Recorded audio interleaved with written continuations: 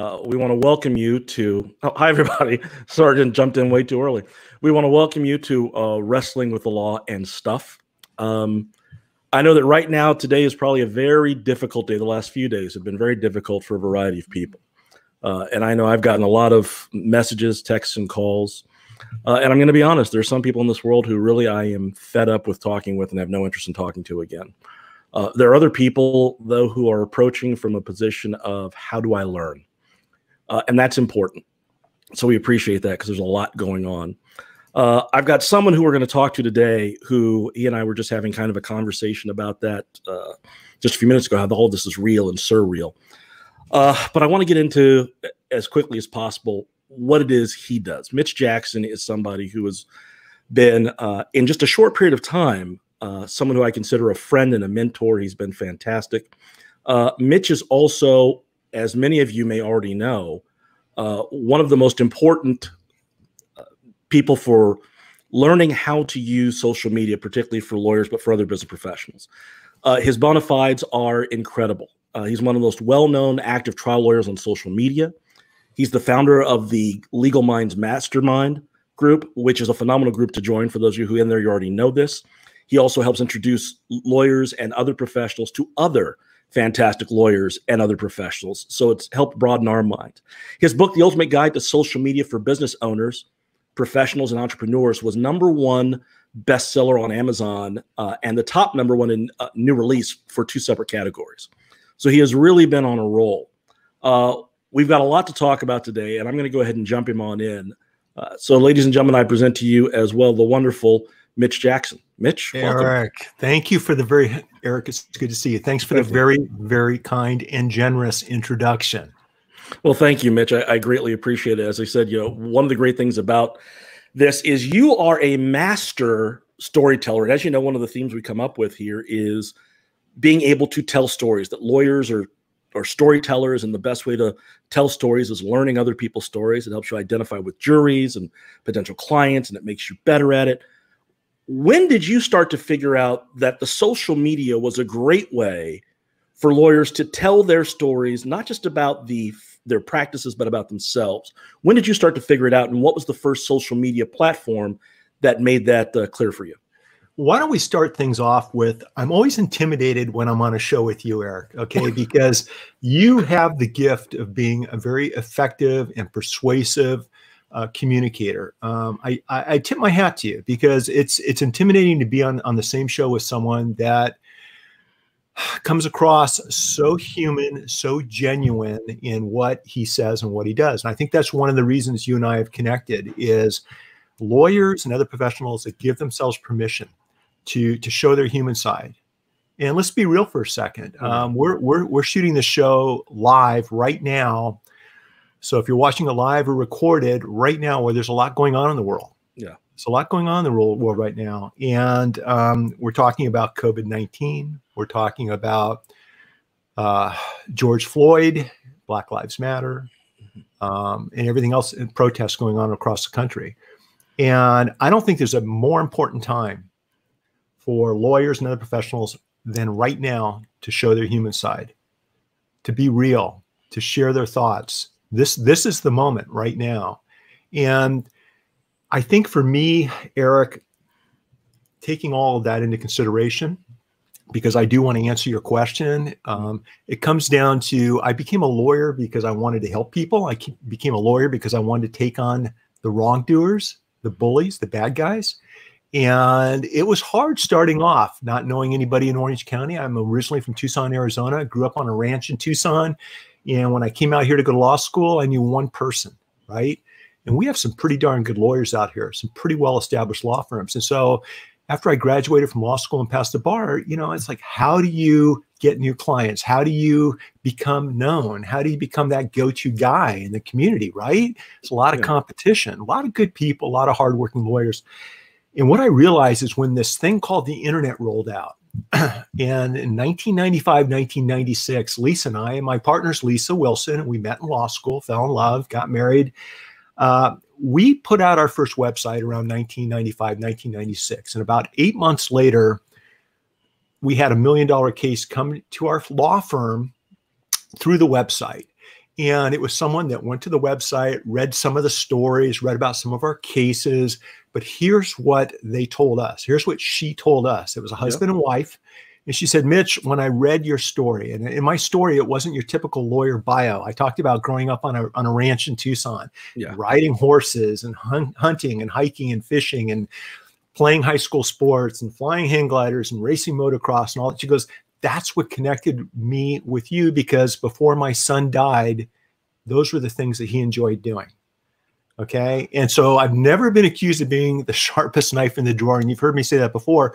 But I re- realized the reason she went with us and not one of the big established firms was because of that personal connection. And it happened because of something I put on a website. So fast forward another 10 years to when social media came out, what I noticed was these platforms right now, they allow us to communicate in a real-time fashion with an unlimited audience, engaging in real time to comments and questions and connecting unlike ever before. And it allows you even more so to show your human side. And so when we started doing this, number one, I enjoy doing this. Number two, I like helping people and ask, answering their questions, trying to add value. And number three, I like showing the consumer the human side of lawyers, who we are, what are our hobbies, our interests, our passions, who are the guys and gals that we hang out with, right? One of them for me is right here, wherever Eric That's went. That's right. one of the guys right here, right? One That's of the good right people. there. And then you start talking to people who you meet online and you find out you've got mutual friends. You find out you've got mutual interests. You find out that their community is very similar to my community. I think it brings us together, Eric. I think more so than ever before, we as human beings can reach out and connect with other people we would have never met, we would have never talked to, and we would have never, never known. I think for all those reasons, um, social's been a fun experience and a meaningful experience in my life. See, now it's funny you mentioned that because one of the things you and I connected on, obviously, was finding out that one of your closest friends, actually two of your closest friends, are judges right here in the Inland Empire.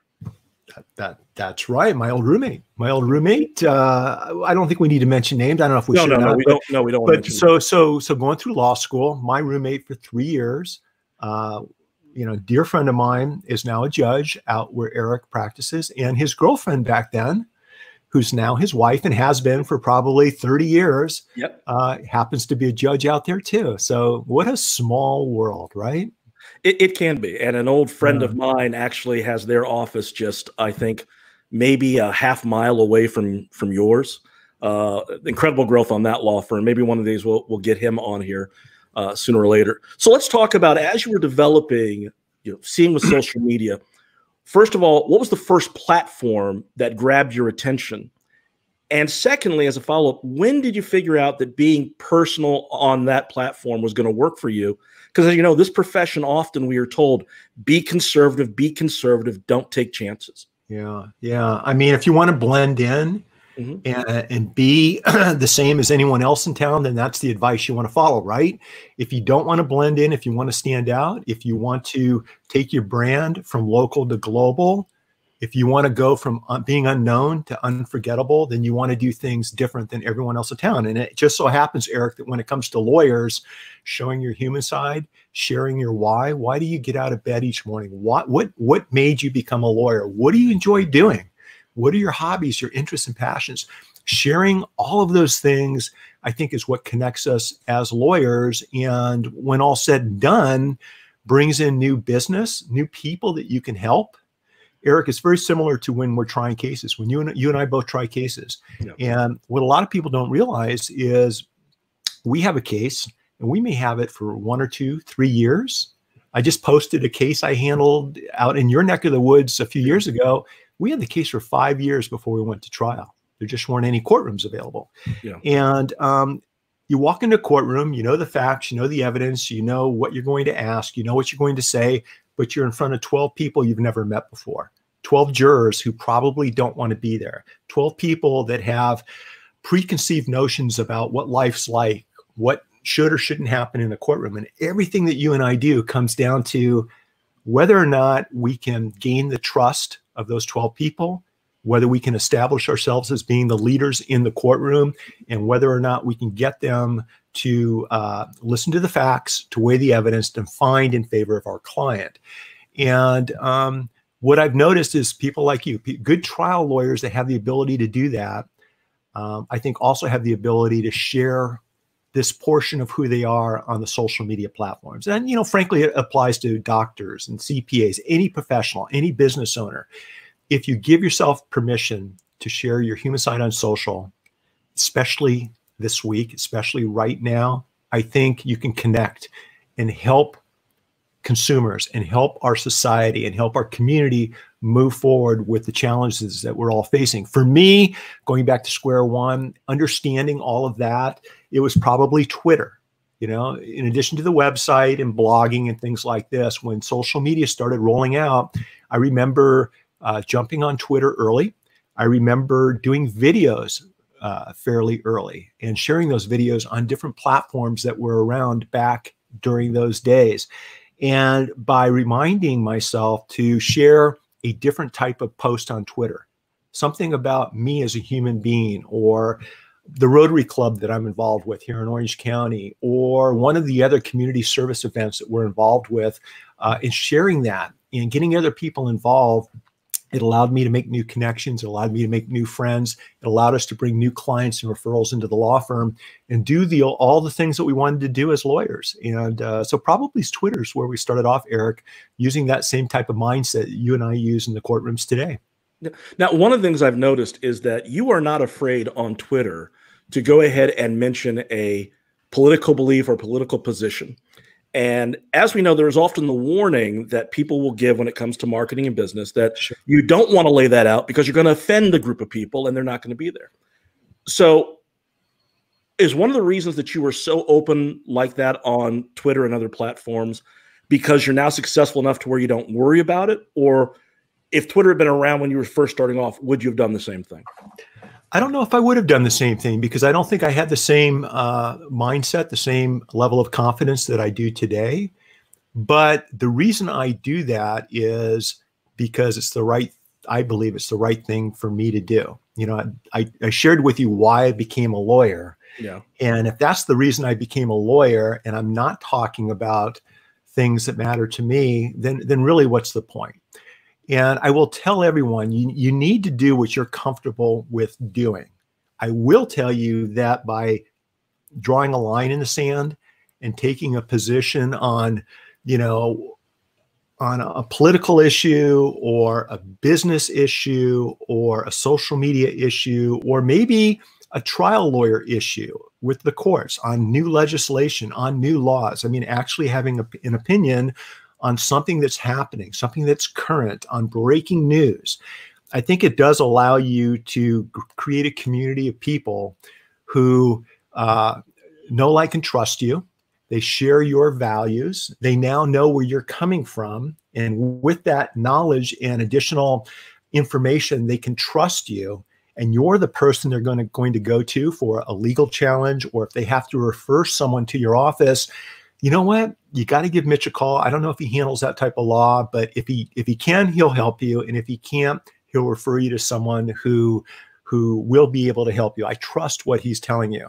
I mean, for me, it's just about being real. Now, it's being strategically transparent, right? In other words, when I go on and talk about politics, I like to do my research. I want to understand both sides of the discussion, make sure I'm sharing facts, and be prepared, right? Just like you and I would do during an opening statement. I also understand that by the time I'm done, I've probably alienated 50% of the people who don't already know me. But but on the other side of the coin, I'm 10xing, I'm bringing in 10 times more people that can relate to where I'm coming from. The key, Eric, as you well know, is to be tough on issues and kind to people. I try to be tough on issues, but I don't try to uh, go after someone for how they look or what they're wearing or or maybe even how they said something okay? It has more to do with the facts regarding the issue as opposed to being unnecessarily cruel to any one person. Yeah I, have um, mentioned before when i started out that was one of the mistakes i made on cross-examination that i thought everybody needed to be beaten up. Yeah. Um, and then you learn that no not everybody needs to be beaten up. You got to wait till you have the people who are asking to be beaten up to beat up on them, and everybody else, you just get the information and let them go on about their way. You got to know when to drop gloves, right? Yeah. And so you, with your background as a professional wrestler, which I always bring up, and I just think that's fascinating, and and because look, we're all entertainers, we're all um, bringing a product, you know, into the ring. We're all bringing a product into the courtroom, and you learn through doing the things that you've done in the past, the things I've done when it's time to drop gloves and when it's time not to drop gloves. Part of my experience was working as a waiter, bartender and front door at a college bar in Tucson when I went to the University of Arizona was learning how to interact with people. People who either were sober and kind and courteous or who had had a few drinks uh, and felt they were bigger and badder than they really were, you know, at one or two in the morning, right? And and learning how to deal with those types of individuals. And what you learn, especially when you're cross-examining a witness, is those are your witnesses. There's a time and place to go after somebody, and there's a time and place to let that witness's silence speak for itself. The jury's going to figure it out.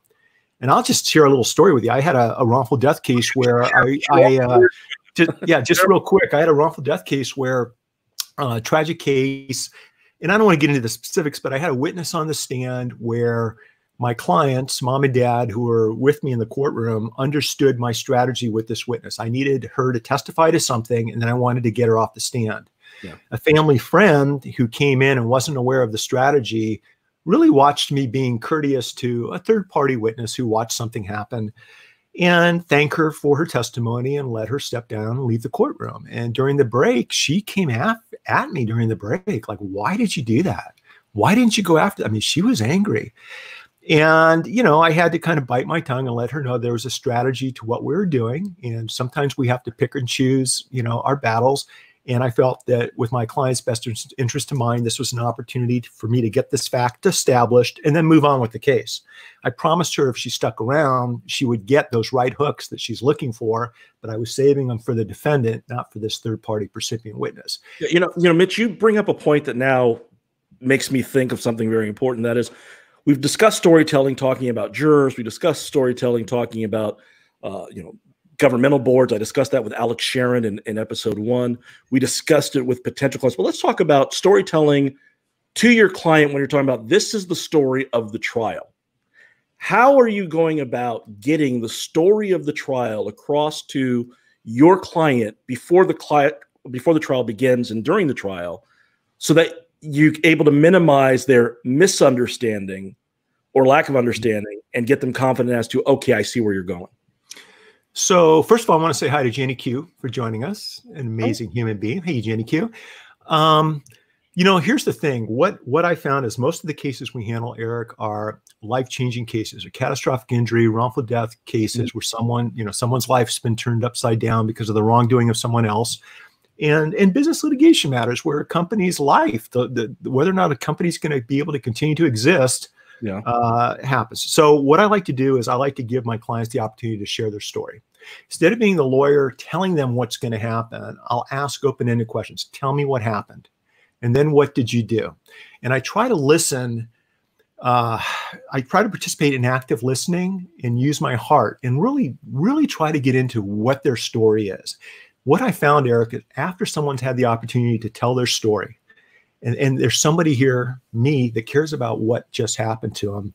Once that's done, then they're receptive to me talking to them about what we need to do next, whether it's what type of pleadings do we file, how are we going to be handling the litigation and discovery aspects of the case, what will be the things that I'm thinking about presenting during a trial right now. Uh, and it may change between now and the next two years to give them the best chance of accomplishing the goal that they're looking to accomplish. I want to make sure their goal is the same goal as my goal. So, what we usually do is uh, take them by the hand and then walk them through the process. And we listen more than we speak at the beginning of the case to get them comfortable with what's going to happen next. I'm not sure if that really answered your question, but that's the process we go through. Well, in a lot of ways, Mitch, it, it does, because one of the things we, again, we're talking about is getting people to understand where things need to go. And mm-hmm. with a jury, obviously, one of the things that we're trying to do is, for me, on the prosecution end, My view, of course, was this is why I'm going to ask you to vote guilty. Here's the story we're going to tell you. The evidence is going to show this. Mm-hmm. On the defense side, it may be along the lines of the several of the facts the prosecution has just told you are true, but that's not what the real story is. Here's where the story really goes, and you're going to see that. Um, with the client, I find the same way because we've often had this client who come in and say, I, I should get a million and a half dollars. we have to explain to them why. Mm. That may not be the story. Um, you know, that may not be how we get there. What we want to do is get your story across and make sure that you get the value for what that story is. And I know for me, particularly on criminal end as opposed to civil, I might start with a client asking, okay, this is what the police say happened. And then go through it with them and then say, how much of that is accurate? Hmm. Yeah, there's there's power in facts yeah. right there's power in facts and and listening to what your client has to say i'll tell you i'll tell you just just approaching it from a different perspective sure. I, I have found that when i know my client's story when i understand where they're coming from when if i'm representing somebody who um, has been paralyzed because of an accident. Uh, i know that if i go to their home and i spend time with them and see what it takes for them to get out of bed in the morning and use the bathroom and and and then you know it takes them three hours from getting out of bed and using the bathroom and getting ready to when they can have breakfast something i can do in five minutes. And watching them and helping them and, staying with them and, and, seeing what they do throughout the course of a day in the case i posted uh, earlier this week which is kind of similar to what's going down right now across the country uh, where we had the opportunity to help a family um, and like i said in riverside county um, it was a matter of uh, spending a lot of time with the family and getting to know everyone and and visiting them at the house and uh, really just not talking but listening to their story and understanding where they're coming from. And then once you understand and appreciate all of those factors putting them together in a way that satisfies the evidence requirements that satisfies the jury instructions so that you can present all of this in a way that's not only done in a in a in a powerful storytelling fashion because jurors love hearing stories real stories of real people. They don't like to be talked to they don't like to feel like they're sitting in a classroom being instructed to what they like is feeling as though they're hearing your client's story and that's super important. And so by doing all the things we talked about, it allows you at the time of trial, starting at jury instruction, starting with jury selection, voir dire, where you start telling your client's story in the form of an open-ended question that starts planting seeds and it starts getting everybody thinking, wow, if I was in, if I was sitting over there at counsel table next to Mr. Jackson, I would want to know what the answer is to that question. I want to know what the juror next to me thinks. I want to know what the juror sitting down in front of me thinks. This is really important stuff. Telling a story is critically important, but there's one thing hmm. that's more important than telling, I think, a powerful story in the courtroom, and that is empowering your jury to make the decision that you need them to make. It's one thing for a jury to be entertained, to be interested in what's happening in the courtroom. It's another thing to give them the power, to give themselves permission so that when they leave the courtroom and they go back into the jury deliberation room and you don't see them again, that's it. Uh, you want to make sure there are leaders back in that jury deliberation room that understand the facts, that have the power and persuasive ability to get everyone to come to the right decision. They've been empowered to take things to that next step to send a message to the community, to send a message to the defendant that what happened isn't okay, to tell your clients that your client's son did nothing wrong and that the damages that you're looking for are reasonable and necessarily necessary in this particular case. So yeah. it's telling a good story, but then empowering your audience to take the right action. Yeah, that brings me to two areas. So I'm going to try and take it one at a time. One was when you were talking about going to your your client's home, seeing how long it takes them to get up, get out, to essentially be able to tell the story of this is what they could do before, but they can't do it now, and it's that person's fault. Um, I'm reminded of what all my BC law classmates will know exactly what I'm talking about when I say this. One of the things that our property professor told us back when we were, you know, just first year law students, you know, itty bitty one L's. Uh, Zygmunt Plater, who used to say all the time, walk the land, walk the land. The idea being that if a case came up, your job was to go exactly to where it went, yeah. see what's being talked about, start to get the feel for it because you can make it easier for for others. Um, and so I think that's a wonderful point that you have that that's one of the things we have to do. And I know as prosecutors, one of the things I learned was you can't always depend upon the investigators, particularly the cops, to give the layout. Sometimes you got to go yourself. Or if you're lucky, you have an investigator that you really trust who goes and brings you everything. I mean, I, when I was at the Shasta DA's office, I got to admit, I had a couple of investigators who were fantastic. They would just bring me all this great stuff. And there's investigators I use now on the private side who do it. Um, but the other thing I want to get to was you were talking about voir dire, and a lot of people don't really get that sometimes jury selection is really jury deselection. Mm-hmm. And a big part of that is depending upon the jury instructions. So let's talk a little bit about how you go about figuring out who on the jury, as they're giving you a story, because after all, at voir dire, we're trying to get their story within the, the confines that the court is giving us. How do you figure out from their story whether or not this is somebody who should be sitting on this jury? Yeah, it's tough. You know, when you talk about walking the land, right? It takes mm-hmm. time and effort to do that. Whether you're visiting a an accident scene, you're going to a client's home, uh, or you're spending time just meeting with clients and their family members in your office and getting to know everybody, or having dinner at their home. A lot of lawyers don't take the time to do that. And that's the difference between winning and, and losing a big case. And I say that because during jury selection, during voir dire, after walking the land, after understanding the nuances, after realizing what's in the police report or the investigator's report is actually different than what you observed, than what you saw, than what you heard, because you went there, you spent time doing yeah. something. Then, what you're looking for in a jury is you're looking for jurors that have an open mind, in other words, they want all the answers. They don't want to be surprised by something. If they don't want to make, they don't want a situation to happen where they're being told one thing and then they find out later it's not the truth. So, in the scenario that we're talking about, what I look for are jurors who I feel after asking them questions, if they're if information's withheld from them, they're not going to be happy about it. So they're going to hold that against the other side if they're the type of personality where once we get all the information, Mitch, we're going to make a full and fair decision, then that's that's who I want on my jury, especially in that type of case, because I realize i I'm holding a couple of cards, some things I've learned, I've seen, I've watched that the other side isn't focusing on, and they're not going to bring up at trial. So I want to make sure I've got that type of juror on my jury, for example. The other thing is to uh, not to tell the jury what they should be thinking. Let's talk about tort reform.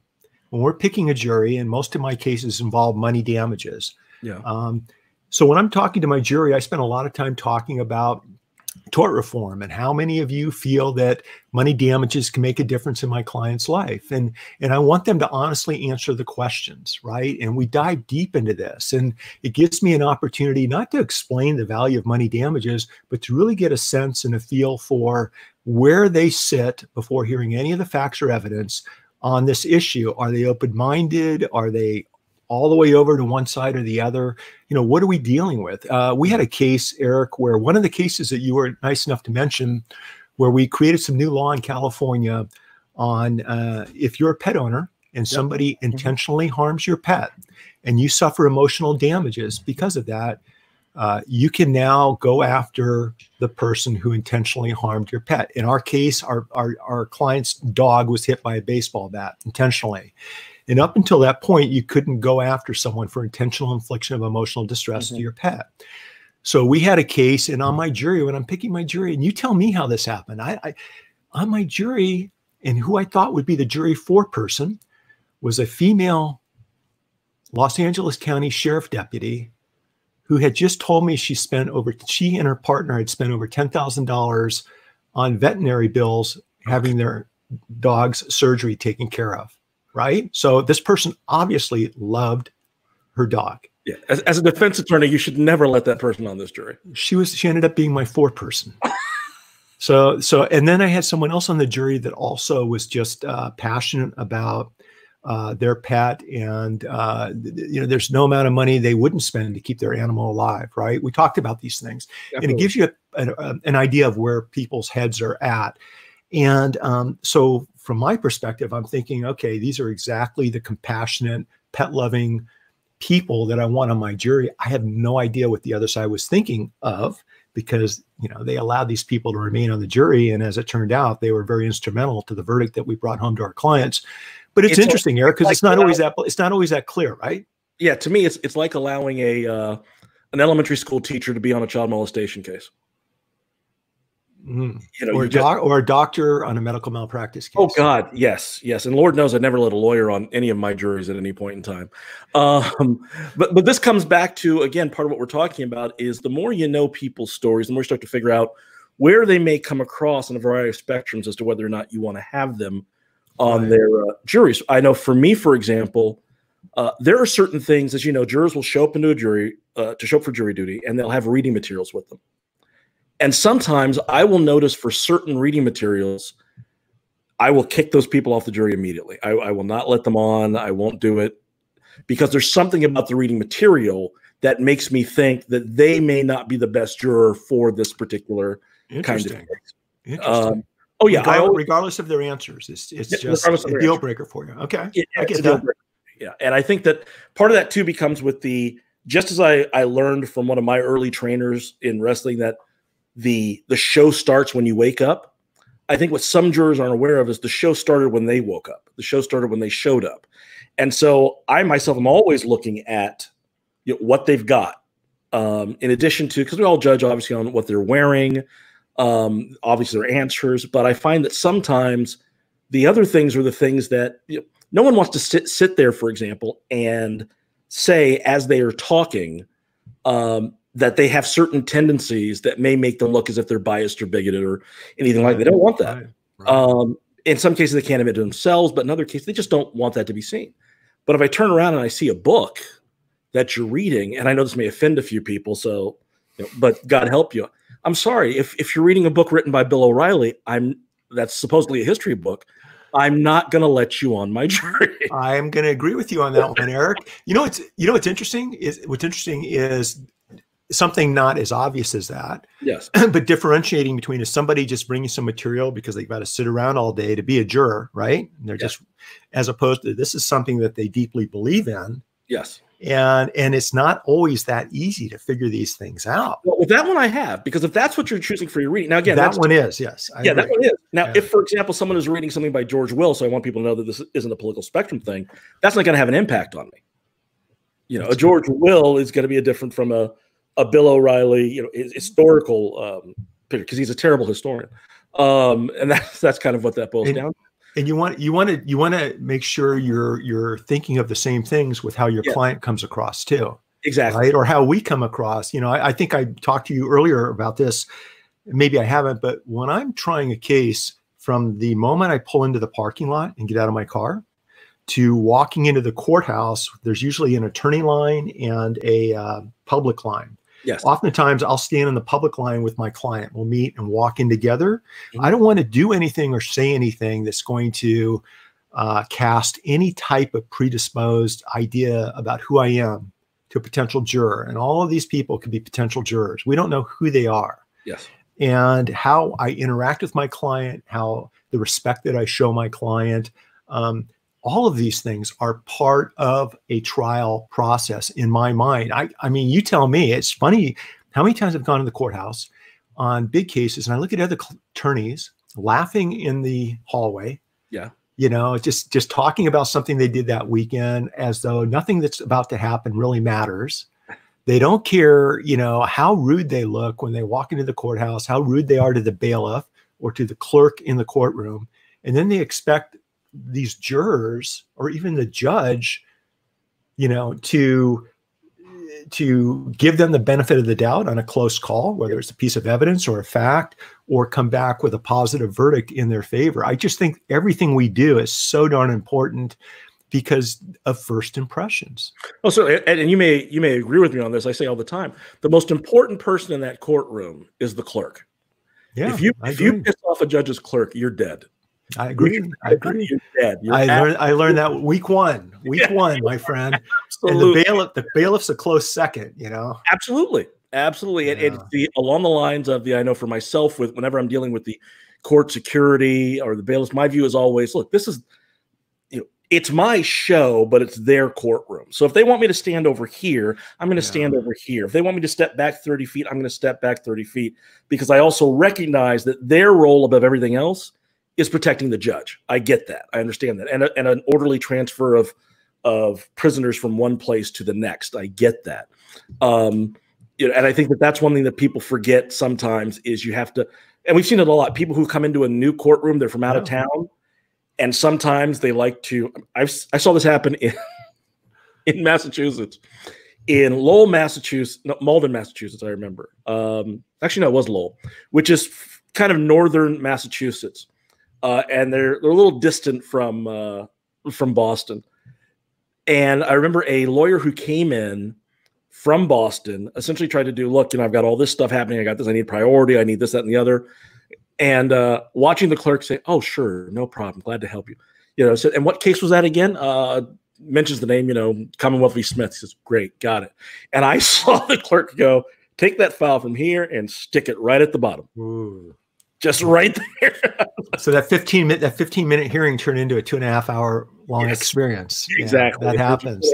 long experience, so, and I can't blame can't blame him for it because again, yeah. it's the the respectful aspect is always helpful. I mean, there's a time to fight. Like I've been known on occasion to fight with judges because I'm not of the opinion that it's my job to make them happy. Uh, a judge taught me that when I was younger. It's not your job to make me happy. But there's never a reason to fight with the bailiff. There's never a reason to fight with the clerk. There's never a reason to fight with the court reporter, though I could be snarky from time to time. Um, but it's those a fine line yeah. Sometimes it's a fine line. You know, you got to play the part. You got to do what you have to do because we're representing our clients. I'll tell you a little secret that uh, I don't know if I picked this up reading one of Gerry Spence's uh, books back in the day, or someone told me this, but it's, it has to do with visiting the courtroom ahead of time. Yeah. And understanding walking into the courtroom a week before your trial. And if you have, if you're not familiar with the judge or the clerk of the courtroom, but get there early and talk to the court staff. What's what are the judge's thoughts with should i be standing or sitting when asking a question or placing an objection? Would the judge like us to stand or sit when everyone comes into the courtroom? Where do you not want me to stand other than the well? And the well you guys is between the counsel table and the judge's bench. You're not supposed to walk in there without the judge's permission unless the judge tells you it's okay to do it yeah. each judge is different but you want to find out what the rules are uh, before you start your trial. And you want to find out, at least back in the day, uh, where you could plug in your electronics, when it was okay to use the court projector or overhead. Uh, you know, the, it's just little things that if you if you make ha- a habit out of doing the foundational work, when you are in trial, you're not going to make that mistake. You're not going to walk someplace or do something that's going to offend anyone. And like you said, if you're from out of town and you don't know that judge and you don't know how he or she wants to run their courtroom, and you consistently do something that violates that courtroom's rules, the judge is going to let you know about it. And if you do it often enough, he or she's going to let you know about it in front of the jury. Okay. now, you don't want that. You don't want that to happen. Now I'm going to ask you a question, maybe embarrassing. And if you decline to, if you decline to answer, Mitch, I completely understand. Anything for you, Eric. You know I got your back. I have of the 58 counties in California, I think I've appeared in about 34, 35 of them. And almost to a person, the attorneys hate hearing that they're about to get lawyers coming in from LA County or from particularly the state of Los Angeles or from Orange County. Really? really? There's a reputation across the state that those guys are dicks. Um, and what's funny to me is you are, of course, one of the nicest guys I've ever come across. Yeah. Um, and so I'm wondering, how do you deal with difficult attorneys, or is it that being in Orange County yourself, you don't see it the same way? Eric, remember when you were in high school? Yes. All the cute looking girls were at the other high school on the other side of town. No, no, no. All the cute looking girls were at Long Beach Poly High School. Is that where you went? Yeah, that, I'm going to say that. Good, good, answer. Good answer. So, so here's the thing, you guys. My first year in college, yeah. uh, I ran into a guy. We immediately hit it off, became good friends, and it turns out he was his class president of his high school, which was on the other side of town. And that's where we thought all the cute girls. We had a lot of cute girls in our high school, but that's where we thought all the cute girls were. What Oscar told me is, no, no, Mitch, all the cute girls were on your side of town at your high school, right? so, so it's off. You know, it's interesting because I look at all my friends in Orange County, and I can I can say almost without any exceptions whatsoever, just an amazing group of human beings. I mean, really nice people, really good lawyers. Uh, I haven't seen that, but having said that, I know everybody right? It's that next layer. Yeah. Um, I will tell you that on a couple of appeals up in LA County, um, and I don't remember why I was arguing appeals up in LA County, but the appellate justices up there were a challenge, right? And and I just remember thinking to myself, wow, you know, not only am, am I in the right, and I'm simply I'm like uh, I'm the I'm opposing the other side's appeal because they didn't like what happened at the trial level. Yeah but uh, to call me out and say some of the things that they said, I mean, what's the point? And I had one appellate justice talk to me about why I was basically busting the balls of the insurance company. Like, why am I pushing this to the limit that we're pushing it? Right. And long story short, my, my response was we're simply asking the insurance company to do what the rest of us are required to do under the Code of Civil Procedure procedural issue. No more and no less. Less. But you know, it's like, why even say something like that? You know, well, you know that's one of the odd things I found because in in Massachusetts, where I also practice, judges are appointed for life. So so you're not really all that surprised when they say occasionally something that might be a little a little different. Uh, or I should say they're appointed. Uh-huh. I think the retirement age now is 70 there. It was just Maybe. over and over. I'm like, come on. Yeah. Uh, including I remember once uh, appearing in Lowell in front of a judge who's now retired, um, and mentioning a case, you know, from the SJC, the Supreme Judicial Court of Massachusetts, uh, and looking at me and saying, "Oh, the SJC, they're all the way in Boston, Mister Anderson. We don't need to worry about them." so, so, so well, I, so but, I had an, I just go ahead, finish your thought. I yeah, but I find it odd to come across some of that on occasion here. I remember mm-hmm. once practicing in Shasta County, um, and those in Shasta already know this story because I've said it a million times, and having a judge say in a, a case as we were in chambers who said, This case is a waste of the jury's time. And it's a criminal case. And the judge and I then got into it because one of the things I told him was, and I was the prosecutor on the case, I said, No, no, no. I said, you know, the jury's job is to sit here and hear the evidence. The decision to have a trial belongs only to the defendant. He has exercised that right. And for you to say that this is a waste of the jury's time is ridiculous. Um, yeah, he that judge and I occasionally had a few a few issues from time to time. Well, but you have to move past it, right? Yeah, exactly. Sometimes it. you have to move past it. Uh, so that's a hard thing. That was a hard thing for me to learn for a while. It's it's funny how you once again, I've always fall back on my life experiences as a as a bartender, a waiter, front door guy when I deal with people like that. Like I don't take it personal, right? It's like what's in my client's best interest. I was out in your neck of the wood at the uh, Riverside Appellate Court. Oh yeah, or whatever. All right, and it was and uh, and we were arguing. Setup, by the way, for those who haven't seen it, it's a beautiful setup.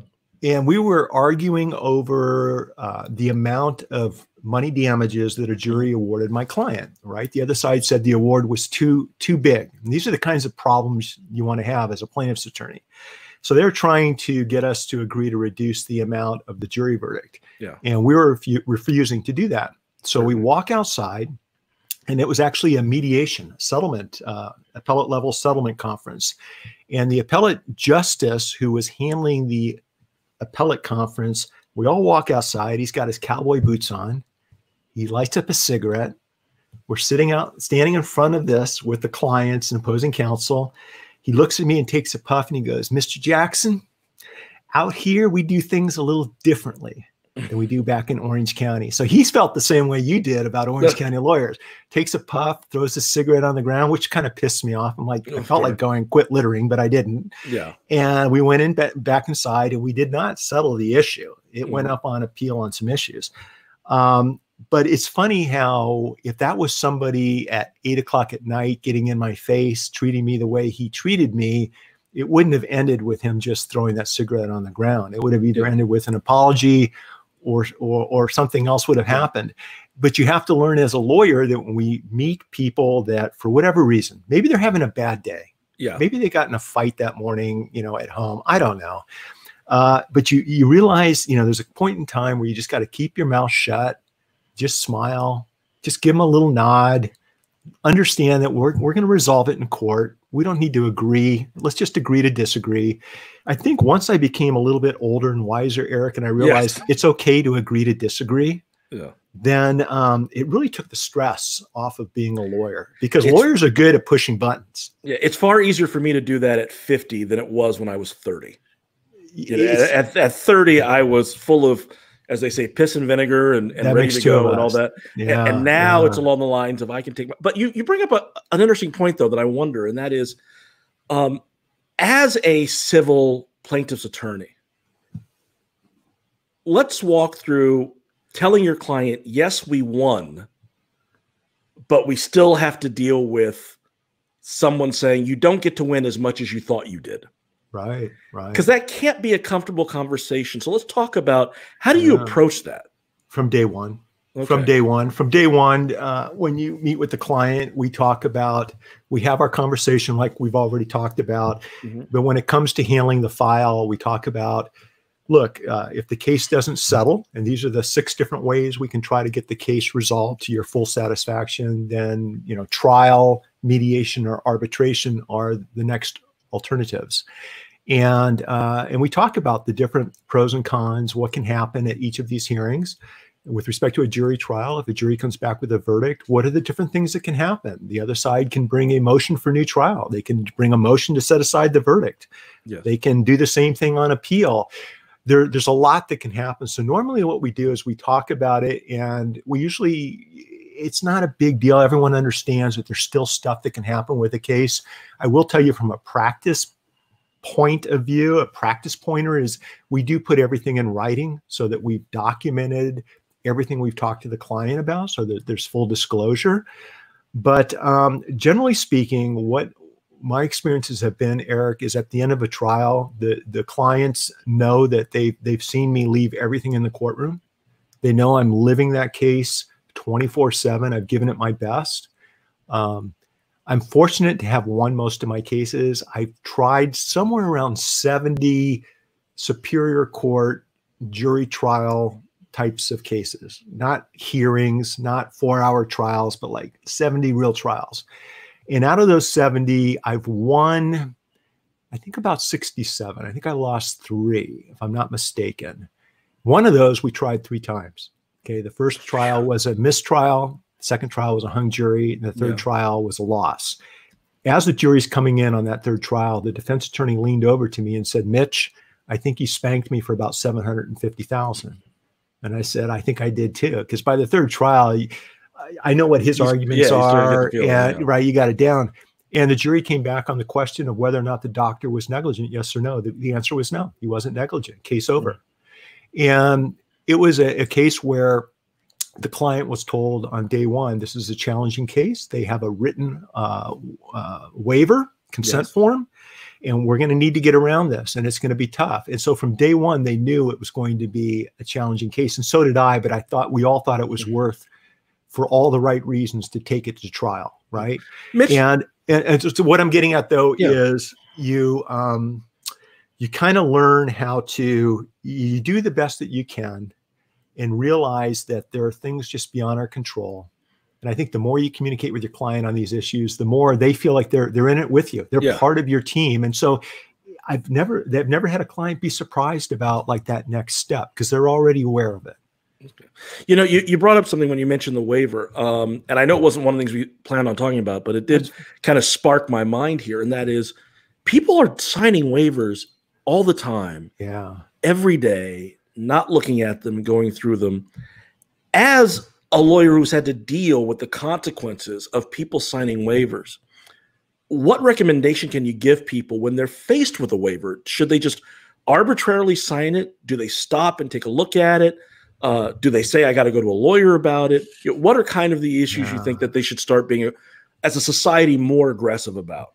Yeah, I'll tell you what, it just depends on the nature of the transaction. When we're all out, you know, buying our smartphones, our cell phones, or signing up for new cell, smartphone contracts, most of those have waivers, mm-hmm. arbitration, and mediation clauses in them, and we don't think twice about it. And personally, I don't. I don't think twice about it. Whatever, I, I don't really care. Yeah. Uh, when we're doing laps at the motocross track, when we pull into the gate, we have to sign a waiver, uh, mm-hmm. an assumption of risk and liability waiver in case we get hit by somebody else or we do something stupid and we break our neck. And I am one of those guys where I have no problem executing or signing those types of waivers in order to participate in the sports and activities that I enjoy doing. But that's just me.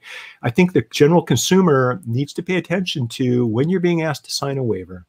And if it's going to have the potential to affect your life in a negative way down the road, uh, you know, talk to somebody who you trust. Talk to your family lawyer. Talk to a lawyer in town to see whether or not it's in your best interest to sign the waivers. An easy workaround, Eric, is oftentimes when somebody pushes a clipboard across the counter, we need you to sign this.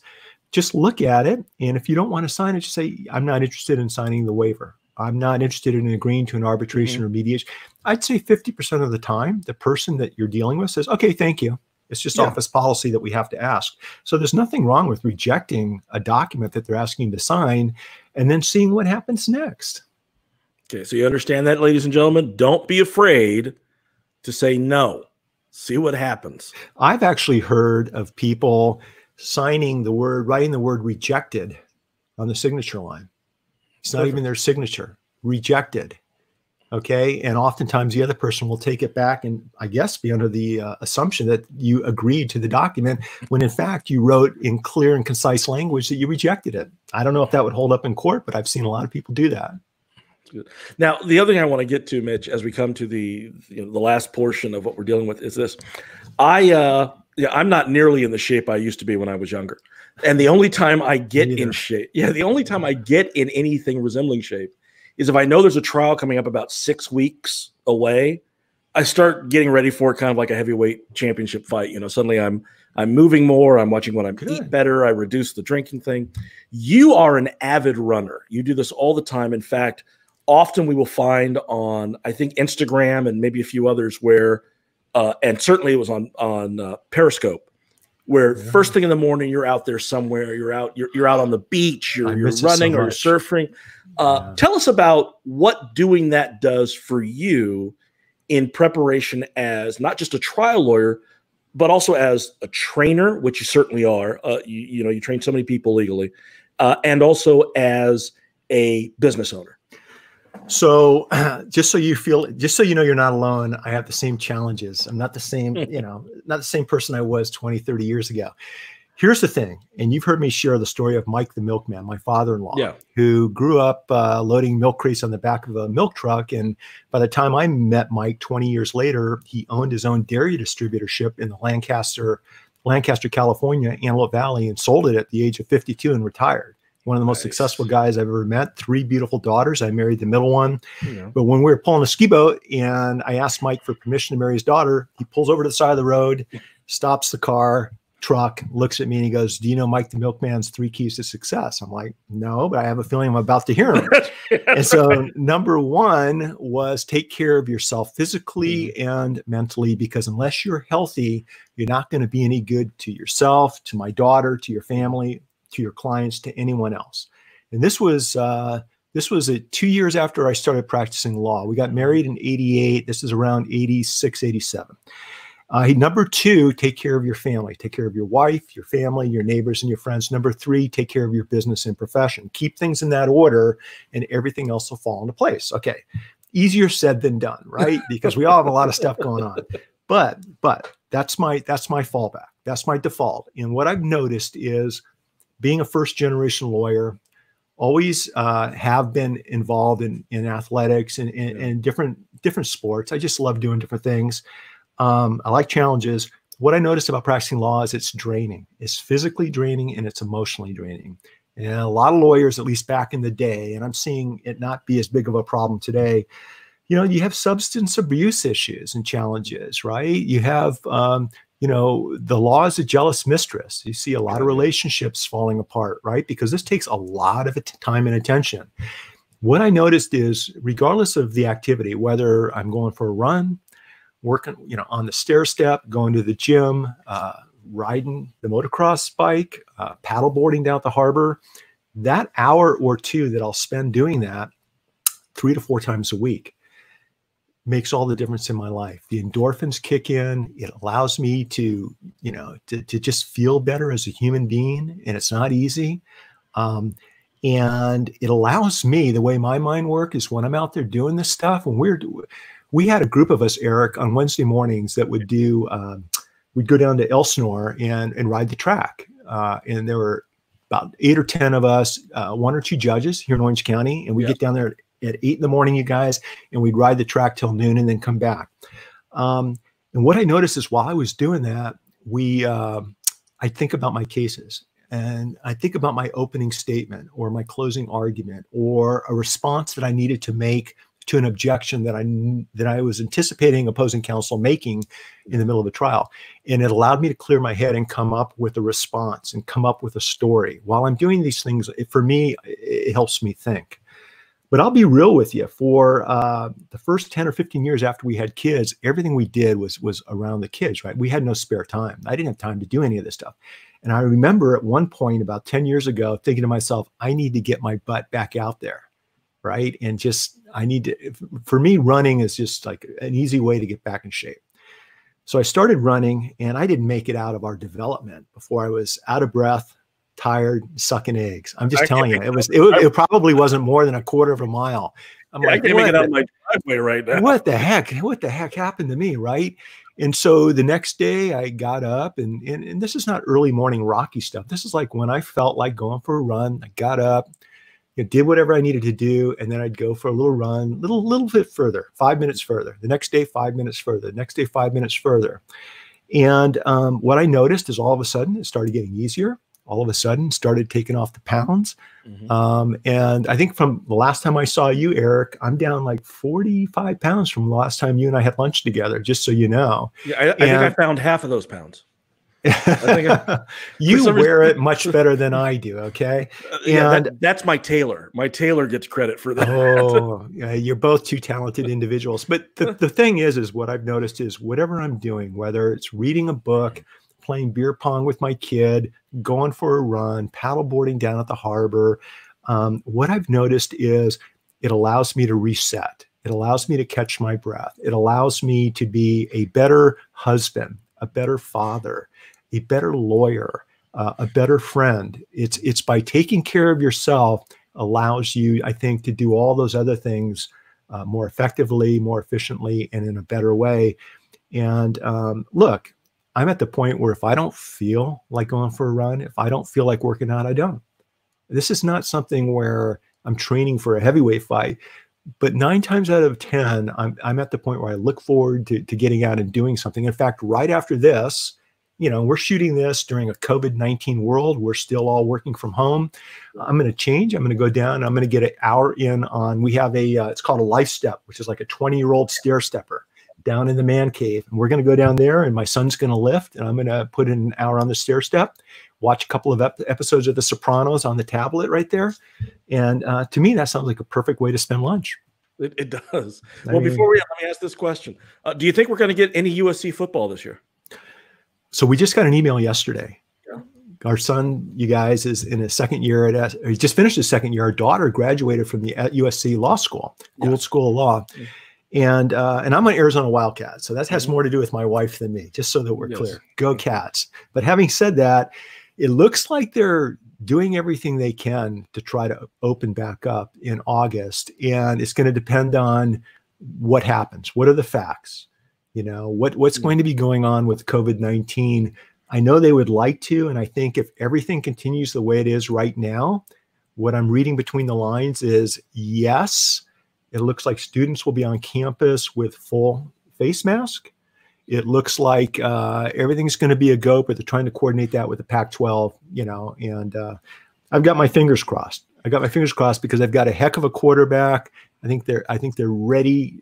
They're ready to move forward, and uh, it's going to be an exciting season. But you know, this is interesting times, Eric. This is this isn't this is a time in life where I've talked to my kids, I've talked to my clients my friends, where I think we need to be proactive. We're living in a moment of history between COVID nineteen, but between uh, uh, Black Lives Matter, between everything we're seeing right now, um, where we can embrace it and learn from it and move forward and make make our society, make our world a better place. And I think this is the time in, in, in our history when we all have an opportunity to do this. And you guys have an opportunity to give yourself permission to to show your emotions, mm-hmm. to show your human side, to tap into your networks, tap into your connections, and let's make change happen. I'm so tired of talking about it, and I'm ready to see something actually happen. And Eric, one of the things that I'm scared about is when we have a school shooting, everybody's protesting, everybody's upset, mm-hmm. everybody's trying to say the right thing, and then a year later, nothing's happened. Yes. Right. And you and I have been around long enough where we've lived through a lot of different experiences. And I feel like I feel this is different. I just feel like it's different. And I'm hearing voices and sounds from people that I haven't heard from before. And I'm praying to God that that is the case. I'm hoping that this, the change is in the air and we're going to make this happen. I'm excited about our Gen Y and Gen Zs. I think they do care. And I think the youth of our country is the future of our country. And I can't wait to see, I personally can't wait to see what happens over the next 25 or 30 years. I hope it doesn't take more than six months. Gosh, I, I think, so. but I think you and I both know yeah. it's a generational thing. But but um, I, I, would love to see everyone embrace what we're going through right now and move forward in a positive fashion. As would I. Mitch, I want you to hang on. I'm going to go ahead and get ready to do this. Mitch, thank you so much You're welcome for joining us. It has been a huge, just a, a great pleasure. Uh, love talking the war stories, love talking about how we're dealing with the streaming and the connections and getting people's stories. So that's been fantabulous. Uh, I want to thank all of you once again for joining us here on Wrestling with the Law and Stuff. I, I have to tell you, I was not in a good mood today. I was not in a good mood for much of the last few days. But you know, talking to Mitch uh, and uh, anytime there's anything that gets me excited over law is always great. So, by all means, feel free to go ahead and reach out to the people who help you remember why you do what it is you do. We want you all to stay safe as much as possible. We also want you to make your voices heard no matter what it is you're doing. And we want to remind you no matter what it is you're wrestling with, let's come and wrestle with it together. Thank you, and we'll see you next time.